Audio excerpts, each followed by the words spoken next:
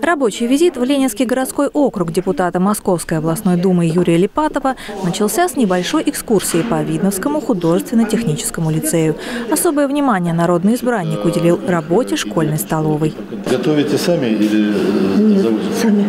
Сами, да? Да, у нас очень давно работает пищеблок на сырье.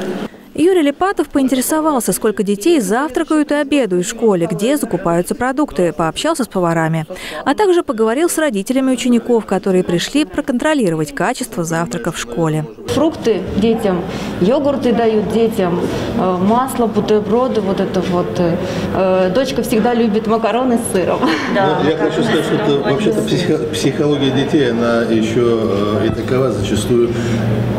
э, как в столовой нравится э, почему-то больше, чем э, иногда дома. Родительский контроль очень важен. Почему? Потому что родители напрямую дают оценку качеству питания, смотрят, дают какие-то советы. Мы их обязательно берем в работу. Также Юрий Липатов спросил у самих ребят, нравится ли им завтракать и обедать в столовой. Ребята заверили, кормят в школе сытно и вкусно. Мы стараемся, пропаг- пропагандируем здоровое питание, участвуем в конкурсах, которые организует и Роспотребнадзор, и муниципальных конкурсах мы участвуем, да и свои собственные уроки технологий, кулинарии в частности, проводим. Меня больше э, беспокоило, вот пищу готовят здесь или привозят откуда-то из э, общепита, что было еще несколько лет назад э, системно на территории тоже всей нашей Московской области.